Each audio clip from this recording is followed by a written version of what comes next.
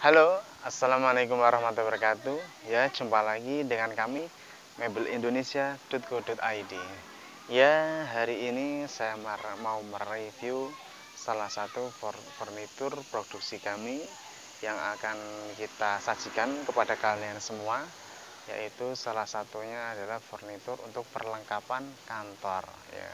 Seperti apa furniturnya? Ini produknya sudah ada di samping saya ya. Ini adalah salah satu furnitur untuk melengkapi meja kantor atau yang kita namakan papan nama meja. Papan nama meja ini dilengkapi dengan ukiran motif bunga dan ada motif jepara di sini. Serta untuk finishingnya kita finishing melamin natural kayu jati. Karena ini asli full dari bahan kayu jati. Dan untuk finishingnya kita berikan luster untuk menampakkan ukirannya dan juga di sini ada warna emasnya. Ya. Kalian bisa request untuk mengenai warna dan modelnya, jangan ragu untuk menghubungi saya di sini.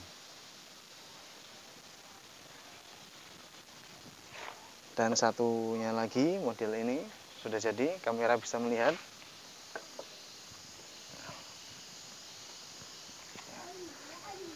Nah, ini adalah yang biasa dipesan banyak oleh bapak-bapak yang sudah berjasa di sana yaitu Bapak Polisi. Terima kasih saya ucapkan terima kasih banyak atas kepercayaannya kepada kami untuk pemesanan papan nama meja.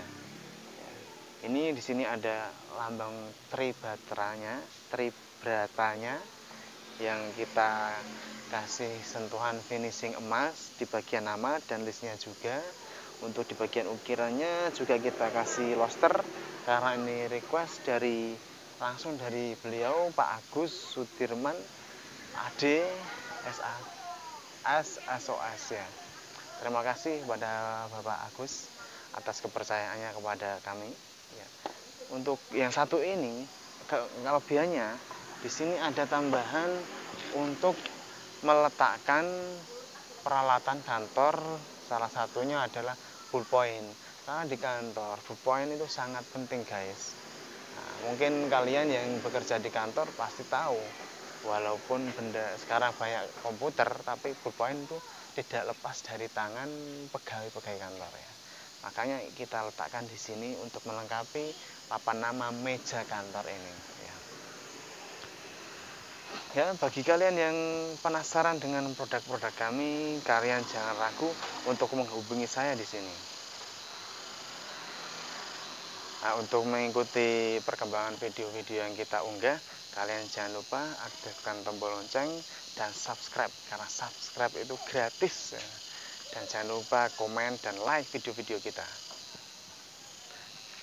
Oke, kebetulan di belakang saya ini juga ada rumah Jawa asli yang ada di Jepara dan ini mau dijual. Kalau kalian ingin infonya, kalian hubungi saya di sini.